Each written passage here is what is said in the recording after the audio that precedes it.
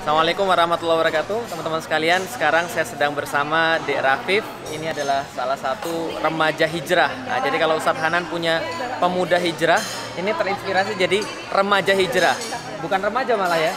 Masih anak kecil. nah, Bocah hijrah itu ya. Hijrah. Ah, Masya Allah tadi saya dapat eh, videonya.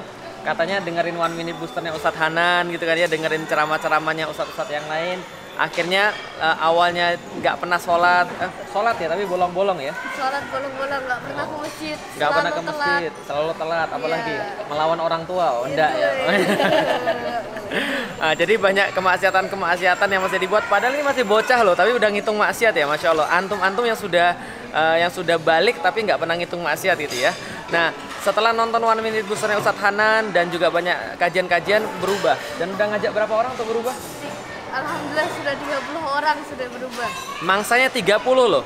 Nah, ini masih bocah, belum dihisap oleh Allah ya. Lah antum mangsa antum berapa? Udah balik belum? Sudah. Oh sudah, kalau sudah dihisap, masya Allah ya. 30 orang loh diajak hijrah, lalu kemudian eh, siapa nih 30 orang ini? Teman-teman dari komunitas Sapen, Oh. Sapen di sekolah. Alhamdulillah, komunitas di sekolah ya. Nah jadi 30 orang sudah bisa diubah, artinya apa? Kalau kita niat mau dakwah, niat karena Allah, Allah pasti akan memudahkan, Allah pasti akan membantu.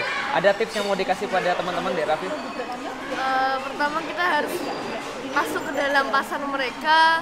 Woi, kita harus pasar ya. Nah, terus? em, istilahnya dekat dengan mereka dulu. Ah. Dekat dengan mereka, akhirnya kita mulai klop, akhirnya mereka kita bisa ajak mereka pelan-pelan supaya mereka tuh akhirnya bisa hatinya tergerak gitu. Nah, paham ya? Jadi nggak terlalu susah untuk dakwah dan teman-teman sekalian coba pikirkan baik-baik. Ini anak-anak yang masih generasi muda peduli tentang dakwah.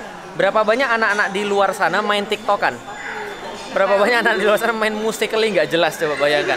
Nah tapi ini adalah berharga insya Allah dunia akhirat. Kita doakan mudah-mudahan Dek Raffi istiqomah dan punya kamera baru sehingga bisa buat vlog sendiri ya. Baik, assalamualaikum warahmatullahi wabarakatuh.